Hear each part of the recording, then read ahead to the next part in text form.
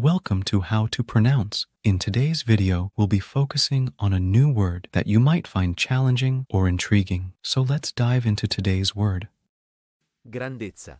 which means grandeur, majesty, or greatness, often in terms of importance or scale. let's say it all together. Grandezza. Grandezza. Grandezza. One more time. Grandezza. Grandezza. Grandezza. Thank you for joining us on this adventure in pronunciation. Remember, language is a journey, not a destination. Keep exploring, experimenting, and expanding your linguistic horizons.